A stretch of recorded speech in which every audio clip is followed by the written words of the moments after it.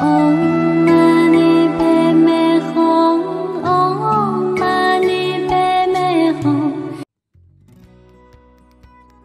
họa không lường ẩn sau bầu trời mây xà cừ tuyệt đẹp ở Na Uy. Bầu trời mây xà cừ ở Na Uy tuy mang vẻ đẹp kỳ ảo, nhưng đây lại là hiện tượng thiên nhiên hiếm gặp phá hoại bầu khí quyển của chúng ta. Mây xà cừ hay mây tầng bình lưu vùng cực, viết tắt BSC chỉ có thể được nhìn thấy vào mùa đông, ở độ cao 15.000 đến 25.000 mét. Chỉ một số nơi trên trái đất có thể nhìn thấy mây xà cừ như Iceland, Bắc Canada, Alaska, các nước Bắc Âu và Nam Cực.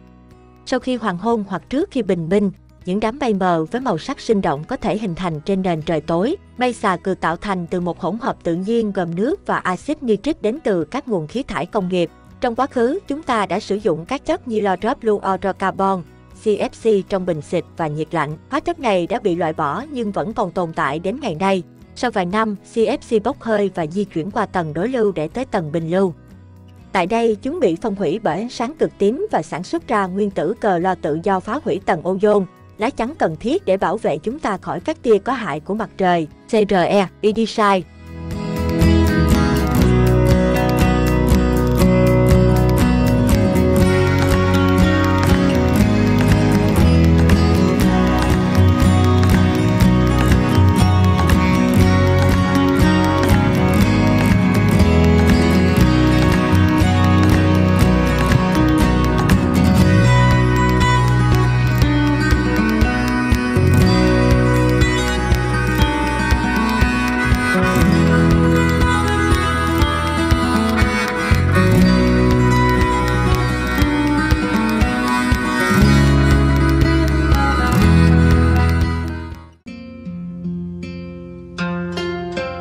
嗡哈哈哈温珊摩帝梭诃